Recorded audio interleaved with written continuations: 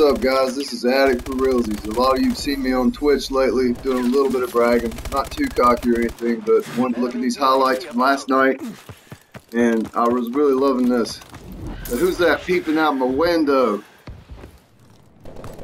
Had to see this one. Alright, here goes. That's what I'm talking about. Yeah! There'll be more to come.